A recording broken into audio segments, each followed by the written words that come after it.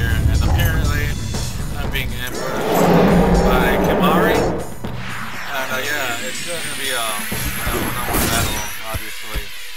But um, I actually have an overdrive, so that's good. But I'm actually gonna start off the the um the battle witch here. Then I'm gonna go ahead and strengthen my defense as well as my attack.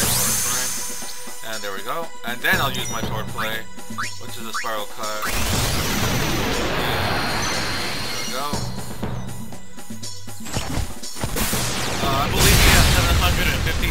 750 Um, so I guess he's almost dead. He's like halfway. And then let's just go ahead and finish him off.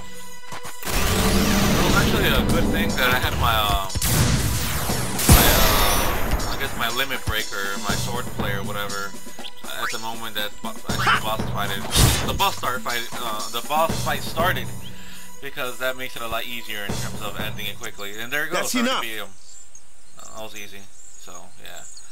So apparently Nawaka decides when the battle's over. Haha, Kimahri without a horn. Uh, Uh, what's with that guy? Kimahri Ronso, of the Ronso tribe.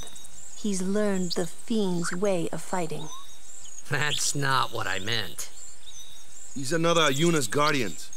Huh? I guess you're probably like a initiation. Sometimes we don't understand him either. Kimahri doesn't talk much anyway. Hmm. But he has protected me since I was a child. Huh. Alright, so this has been Nova Bowling Angel here. I forgot what boss battle this was, honestly. I don't know, maybe, I think three, probably. Either way, I'm out.